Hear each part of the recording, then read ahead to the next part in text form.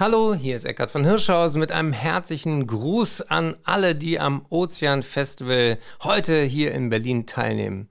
Leider kann ich nur elektronisch meinen kleinen Senf dazugeben, das mache ich sehr gerne, denn ich bin Arzt, ich bin Wissenschaftsjournalist und ich bin Gründer der Stiftung Gesunde Erde, gesunde Menschen.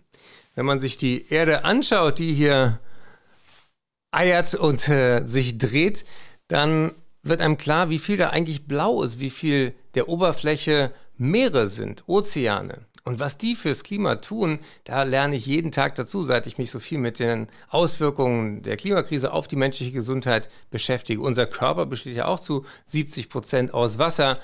Und das Wasser aus dem der Körper von Mutter Erde besteht, puffert, die Wärme puffert das CO2. Da gibt es spannendste Bakterien am Meeresgrund, die das Methan zersetzen und damit ganz, ganz wichtig sind, ohne dass wir jemals Danke ihnen gesagt hätten und, und, und. Also die Ozeane spielen eine Riesenrolle dafür, dass diese Erde für uns Menschen bewohnbar bleibt. Und äh, deswegen finde ich es toll, dass ihr euch für diese Themen interessiert, begeistert, davon weitererzählt. Denn das Ziel, auf das wir uns auch alle einigen können, ist, dass wir nicht das Klima retten müssen, sondern uns.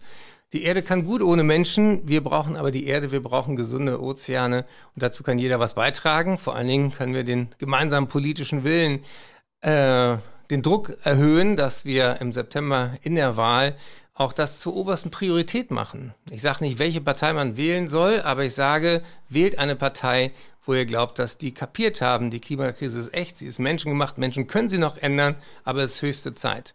Und es lohnt sich auf die Wissenschaft zu hören. Wir brauchen jetzt Politik, die radikal Emissionen senkt, dann haben wir noch eine Chance. Denn wenn man sich hier anguckt, es gibt einen hauchdünnen Saum, eine Atmosphäre.